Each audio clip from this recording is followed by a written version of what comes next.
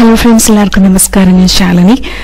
ഇന്ന് ഡിസ്കസ് ചെയ്യാനായിട്ട് പോകുന്നത് കൺസ്ട്രക്ഷൻ ഫീൽഡിലെ ഒരു പർട്ടിക്കുലർ പ്രോജക്റ്റുമായിട്ട് റിലേറ്റഡ് ആയിട്ട് നമുക്കുണ്ടാകുന്ന എക്സ്പെൻഡിച്ചർ അല്ലെങ്കിൽ നമുക്കുണ്ടാകുന്ന ഇൻകം എങ്ങനെ ഓരോ പ്രോജക്റ്റ് വൈസ് നമുക്ക് അസർട്ടൈൻ ചെയ്തെടുക്കാം എന്നുള്ളതിനെ കുറിച്ചാണ്.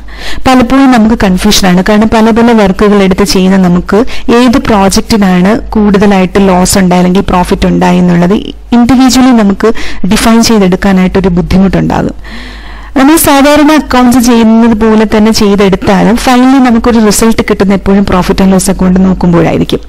അപ്പോൾ അത് കംപ്ലീറ്റ് ആയിട്ടുള്ള ഒരു ഓവറോൾ പിക്ചറാണ് പി ആൻഡ് എൽ അക്കൗണ്ട് നൽകുന്നത്. പക്ഷേ ഇൻഡിവിജ്വലി നമുക്കൊരു പ്രോഫി ഒരു പ്രോജക്റ്റിന്റെ പ്രോഫിറ്റ് അല്ലെങ്കിൽ ലോസ് എങ്ങനെ നമുക്ക് എസർട്ടൈൻ ചെയ്യാം എന്നുള്ളതിനെ കുറിച്ച് നോക്കാം.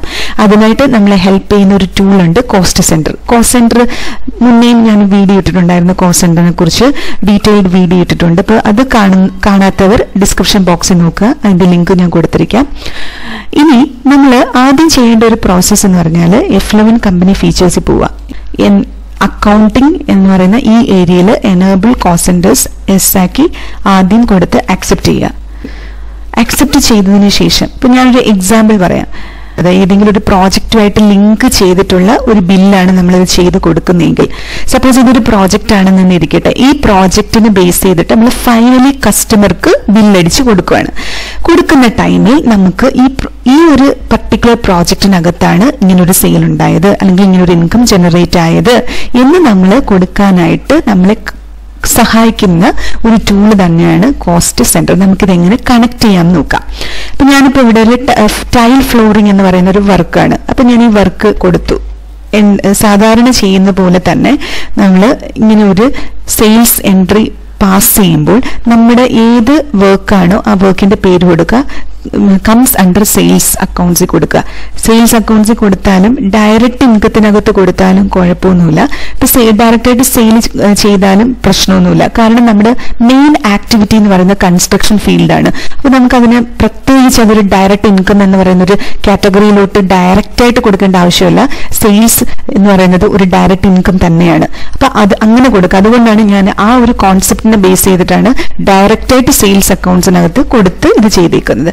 സാധാരണ രീതിയിൽ ജി എസ് ടി ആപ്ലിക്കബിൾ ആയിട്ടുള്ള ഒരു വർക്ക് ആണെങ്കിൽ ജി എസ് ടിയുടെ ആപ്ലിക്കബിൾ ഫംഗ്ഷൻ ആപ്ലിക്കബിൾ കൊടുക്കുക. Set alter G S T details option കൊടുക്കുക. എച്ച് എസിന് കൂടുതലുണ്ടെങ്കിൽ സർവീസ് സർവീസ് അക്കൗണ്ടിംഗ് കോഡ്സ് ഇതൊരു സർവീസ് ഓർഗനൈസേഷൻ ആകുമ്പം SAC S A C code വേണം കൊടുക്കാൻ. Nature of transactions sales taxable കൊടുക്കുക. ഇൻഡർസ്റ്റേറ്റ് സെയിൽ ആണെങ്കിൽ ഇൻഡർസ്റ്റേറ്റ് സെയിൽ കൊടുക്കുക. ഏത് ആണ് വരുന്നത് അത് ഇവിടുന്ന് സെലക്ട് ചെയ്ത് കൊടുക്കുക. ടാക്സബിലിറ്റി ടാക്സബിൾ കൊടുക്കുക. ഇന്റഗ്രേറ്റഡ് ടാക്സ് എയ്റ്റീൻ പെർസെന്റേജ് എന്ന് പറഞ്ഞ് കൊടുക്കുക. കൊടുത്തതിന് ശേഷം നമ്മൾ നോർമൽ ചെയ്യുന്നത് പോലെ തന്നെ ട്രാൻസാക്ഷൻസ് ഇവിടെ കൊടുക്കുക. എപ്പോഴും ആലോചിക്കുക. അക്കൗണ്ടിംഗ് ഇൻവോയ്സ് ഫോർമാറ്റിൽ വേണം ചെയ്യാൻ. ഇവിടെ പെർട്ടിക്കുലേഴ്സ് റേറ്റ് എമൗണ്ട് ഈ ഒരു ഏരിയയാണ് അക്കൗണ്ടിംഗ് ഇൻവോയ്സ് അക്കൗണ്ട് ഇൻവോയ്സ് എന്ന് പറയുന്നത്. അപ്പൊ നമ്മൾ ഐറ്റം ഇൻവോയ്സ് മോഡലല്ല ചെയ്യേണ്ടത്. നമ്മൾ ആ പർട്ടിക്കുലർ വർക്ക് റിലേറ്റഡ് ആയിട്ട് ബില്ലടിച്ച് പാർട്ടിക്ക് കൊടുക്കുമ്പോൾ ഇങ്ങനെ തന്നെ ചെയ്യണം. കൺസ്ട്രക്ഷൻ ഫീൽഡിലാണ് വർക്ക് ചെയ്യുന്നതെങ്കിൽ ഫൈനലി സെയിൽസ് ഇൻവോയ്സ് പാസ് ചെയ്യുമ്പോൾ ആ പ്രോജക്റ്റ് എന്ത് പ്രോജക്റ്റുമായിട്ട് റിലേറ്റഡ് ആണോ അതിന്റെ നെയിം തന്നെ പെർട്ടിക്കുലേഴ്സിന്റെ അടുത്ത് കൊടുക്കാനായിട്ട് നോക്കണം. എങ്കിൽ മാത്രമേ നമ്മൾ ഉദ്ദേശിക്കുന്ന കറക്റ്റ് റിസൾട്ട് കിട്ടുകയുള്ളൂ.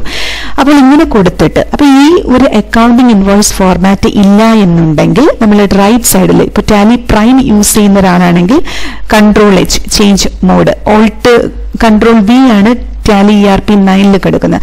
അപ്പോൾ control H change mode click ചെയ്തിട്ട് അക്കൗണ്ടിങ് ഇൻവോയ്സ് എന്ന് പറയുന്ന ഫോർമാറ്റ് സെലക്ട് ചെയ്യണം. ഐറ്റം ഇൻവോയ്സ് അല്ല ആസ് വൗച്ചറുമല്ല അക്കൗണ്ടിങ് ഇൻവോയ്സ് ഫോർമാറ്റ് സെലക്ട് ചെയ്തുകൊണ്ട് നമുക്കിത് ചെയ്യാം. ഇതിനകത്ത് ഞാനിപ്പോൾ ടൈൽ ഫ്ലോറിംഗ് എന്ന് പറയുന്ന വർക്ക് അതിനാണ് ഒരാൾക്ക് ബില്ലടിച്ച് കൊടുത്തത്. ഇത് കൊടുത്തു. ഇത് എന്റെ പ്രോജക്റ്റ് നെയിം ഞാൻ ജസ്റ്റ് ഒരു പ്രോജക്റ്റ് എന്ന് തന്നെ പറഞ്ഞൊരു പേര് കൊടുക്കുകയാണ് പ്രോജക്റ്റ് വൺ എന്ന് കൊടുത്തു. അല്ലെങ്കിൽ നമുക്ക് ഐഡന്റിഫൈ ചെയ്യാൻ പറ്റുന്ന ഏത് പ്രോജക്റ്റ് നെയിമാണോ നമ്മളായിട്ടൊരു പ്രോജക്റ്റ് നെയിം സെറ്റ് ചെയ്ത് കൊടുക്കുക. അപ്പൊ ഈ ഒരു വർക്ക് ഈ ഒരു പ്രോജക്റ്റുമായിട്ട് റിലേറ്റഡ് ആണ് എന്നാണ് ഇത് മീൻ ചെയ്യുന്നത്. ഇങ്ങനെ കൊടുത്തിട്ട് പ്രോജക്റ്റ് നെയിമിന്റെ അവിടെ പ്രോജക്റ്റ് പേര് കൊടുക്കുക അണ്ടർ പ്രൈമറി കൊടുക്കുക. പ്രൈമറി കൊടുത്ത് അക്സെപ്റ്റ് ചെയ്യുക. ഇത്രയും കൊടുക്കുക. ഇത്രയും കൊടുത്തു കഴിഞ്ഞ് ചെയ്യേണ്ടത് സാധാരണ സി ജി എസ് ടിയും എസ് ജി എസ് ടിയും അലോക്കേറ്റ് ചെയ്ത് കൊടുത്ത് ഈ ഇൻവോയ്സ് നമ്മൾ എന്ത് ചെയ്യണം? അക്സെപ്റ്റ് ചെയ്യണം. ഓക്കെ അപ്പോൾ ഈ ടൈൽ ഫ്ലോറിംഗുമായിട്ടുള്ള സെയിൽസ് ഇൻവോയ്സ് ഇത് ഇനി ഈ ഒരു വർക്ക് റിലേറ്റഡ് ആയിട്ടാണ് നമുക്ക് മറ്റ് എക്സ്പെൻഡിച്ചേഴ്സ് ഉണ്ടായെങ്കിൽ. ഇപ്പൊ പർച്ചേസ് ബില്ലുകൾ വന്നു. അല്ലെങ്കിൽ അതുമായിട്ട് ലേബർ എക്സ്പെൻസ് മീറ്റ് ചെയ്തു. അല്ലെങ്കിൽ അതുമായിട്ട് റിലേറ്റഡ് ആയിട്ട് നമുക്ക് പെട്രോൾ ആൻഡ് ഡീസൽ എക്സ്പെൻഡിച്ചർ ഉണ്ടായി. ഇങ്ങനെയൊക്കെ ഉണ്ടായിട്ടുണ്ടെങ്കിൽ ആ പെർട്ടിക്കുലർ എക്സ്പെൻഡിച്ചർ ഏതാണോ ആ എക്സ്പെൻഡിച്ചർ നമുക്ക് ചെയ്തെടുക്കാം. അപ്പോൾ അത് ഇപ്പൊ ഞാനിപ്പോ ക്യാഷ് പേയ്മെന്റ് കൊടുത്തതിന് ലേബർ ചാർജ് മീറ്റ് ചെയ്യുന്നെങ്കിൽ ഡയറക്റ്റ് പേയ്മെന്റ് വൗച്ചർ സെറ്റ് ചെയ്യുക ഇൻ കേസ് നിങ്ങളൊരു ക്രെഡിറ്റ് ട്രാൻസാക്ഷൻ ആണ് അതായത് പേയ്മെന്റ് പോയിട്ടില്ല അങ്ങനെയാണെങ്കിൽ നമുക്കത് ജേണലിനകത്ത് ചെയ്യാവുന്നതാണ്. അപ്പൊ labour charges to labour charges payable എന്നോ അങ്ങനെ ഒരു എൻട്രി ഇട്ട് നമുക്കത് പോസ്റ്റ് ചെയ്യാം. പിന്നീടായിരിക്കും നമുക്ക് ഇതിന്റെ ക്യാഷ് മൂവ്മെന്റ് നടക്കുന്നതെങ്കിൽ അങ്ങനെ എൻട്രി അത് ക്ലിയർ ചെയ്യാം. Labour charges payable account debt to cash എന്ന് പറഞ്ഞൊരു ജേണൽ എൻട്രി ഇട്ടതിനെ അങ്ങ് ക്ലോസ് ചെയ്യാം. അപ്പൊ ലേബർ ചാർജസ് എന്ന് പറയുന്ന ഒരു എക്സ്പെൻഡിച്ചർ ഈ ടൈൽ ഫ്ലോറിംഗ് എന്ന് പറയുന്ന വർക്കുമായിട്ട് റിലേറ്റഡ് ആയിട്ട് ഉണ്ടാകുന്ന ഒരു എക്സ്പെൻഡിച്ചർ ആണെങ്കിൽ നമ്മൾ ഇതേപോലെ തന്നെ ആ പർട്ടിക്കുലർ എക്സ്പെൻഡിച്ചർ ക്രിയേറ്റ് ചെയ്യുന്ന ടൈമിൽ കറക്റ്റായിട്ട് അതിന്റെ എക്സ്പെൻസ് നേച്ചറൊക്കെ പറഞ്ഞു കൊടുക്കുക. ഇൻഡയറക്റ്റ് എക്സ്പെൻസ് ആണെങ്കിൽ അത് കൊടുക്കുക. അത് കൊടുത്തതിന് ശേഷം നമ്മൾ ജി എസ് ടി ഇതിനകത്ത് ആപ്ലിക്കബിലിറ്റി ഉണ്ടോ ഇല്ലയോ നോക്കണം.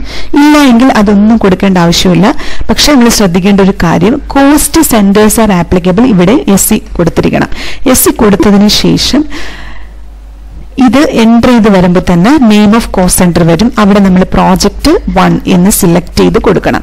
അപ്പോൾ ഇതുമായിട്ട് ഒരു വർക്കുമായിട്ട് റിലേറ്റഡ് ആയിട്ട് നിങ്ങൾ പർച്ചേസ് ഇൻവോയ്സ് പാസ് ചെയ്താലും ഇതേപോലെ തന്നെ കൊടുക്കാം. അതായത് പർച്ചേസ് എന്ന് പറയുന്ന നമ്മൾ ഡെബിറ്റ് ചെയ്ത് പർച്ചേസ് അതെന്താണോ അതിൽ വേണം കോസ്റ്റ് സെന്റർ അലോക്കേറ്റ് ചെയ്ത് കൊടുക്കാൻ.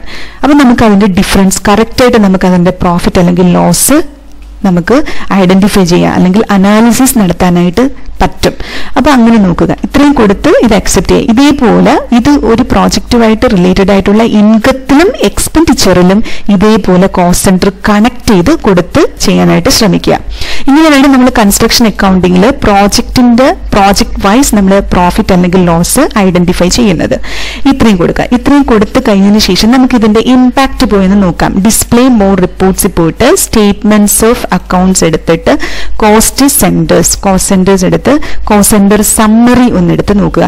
സെന്റർ സമ്മറി എടുത്ത് നോക്കുമ്പോഴത്തേക്കും നമുക്ക് കറക്റ്റായിട്ട് പ്രോജക്റ്റ് വൺ എന്ന് പറയുന്ന ആ ഏരിയയിലോട്ട് വരും. Debit three lakh forty two five hundred അത് ലേബർ ചാർജ് ആണ്. ഇപ്പൊ അതുപോലെ തന്നെ നമ്മൾ മെറ്റീരിയൽ പർച്ചേസ് ചെയ്യുവാണെങ്കിലും അതേപോലെ തന്നെ നമുക്ക് സെന്റർ കണക്ട് ചെയ്യാം. ഇനി സെയിൽസ് അത് കൊടുത്തു. സെയിൽസ് കൊടുത്ത് നമുക്ക് ക്ലോസിംഗ് ബാലൻസ് എന്ന് പറയുന്ന ഈ ഏരിയയാണ്.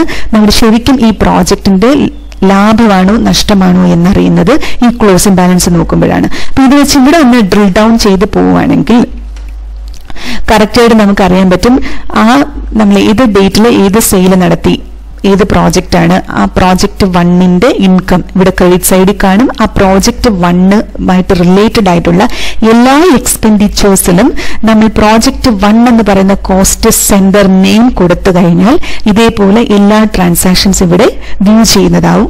Finally either we will get profit or loss അപ്പൊ നമുക്ക് ക്ലോസിംഗ് ബാലൻസ് എന്താണെന്നുള്ളത് നമുക്ക് ഇവിടെ നിന്ന് വ്യൂ ചെയ്തെടുക്കാനായിട്ട് പറ്റും. ഇപ്പൊ ഇവിടെ twelve lakh ninety eight five five zero അപ്പൊ സെയിൽസ് ഇൻകം ആണ് കൂടുതൽ. Three lakh forty two five hundred പ്രോജക്റ്റുമായിട്ട് related ആയിട്ട് ഉണ്ടാകുന്ന എക്സ്പെൻഡിച്ചർ ബാക്കി നയൻ പോയിന്റ് ഫൈവ് സിക്സ് നമ്മുടെ ഇൻകം ആണ്. അല്ലെങ്കിൽ നമ്മുടെ കോസ്റ്റ് പ്രോഫിറ്റ് ആണ്. നമ്മുടെ പ്രോജക്റ്റിന്റെ പ്രോഫിറ്റ് ആണെന്നുള്ളത് നമുക്ക് മനസ്സിലാക്കി എടുക്കാൻ പറ്റും. ഇതേ രീതിയിൽ ആകണം ഒരു കൺസ്ട്രക്ഷൻ ഫീൽഡിലെ പ്രോജക്റ്റ് വൈസ് പ്രോഫിറ്റ് അല്ലെങ്കിൽ കോസ്റ്റ് നമ്മൾ അസസ് ചെയ്തെടുക്കേണ്ടത്. അപ്പോൾ ഈ വീഡിയോ നിങ്ങൾക്ക് എല്ലാവർക്കും മനസ്സിലായി കാണുമെന്ന് വിചാരിക്കുന്നു. ഡീറ്റെയിൽഡ് ആയിട്ട് കോസ്റ്റിനെ കുറിച്ച് അറിയണമെങ്കിൽ ഡിസ്ക്രിപ്ഷൻ ബോക്സിൽ നോക്കുക. ടാലിയുടെ ക്ലാസ് ആർക്കെങ്കിലും ആവശ്യമുണ്ടെങ്കിൽ ഡിസ്ക്രിപ്ഷൻ ബോക്സിൽ കോൺടാക്റ്റ് കൊടുത്തിരിക്കുന്നതായിരിക്കും. നിങ്ങൾ കോൺടാക്ട് ചെയ്യുക. നമുക്ക് ഓൺലൈൻ വഴി ക്ലാസ് പ്രൊവൈഡ് ചെയ്യുന്നതായിരിക്കും. അതുപോലെയുള്ള ജി എസ് ടിയുടെ ക്ലാസ്സും ഇൻകം ടാക്സിന്റെ ക്ലാസ്സൊക്കെ ആർക്കെങ്കിലും ആവശ്യമുണ്ടെങ്കിൽ അത് അതിൽ കോൺടാക്ട് ചെയ്യുക. Thank you thank you so much for this watching thank you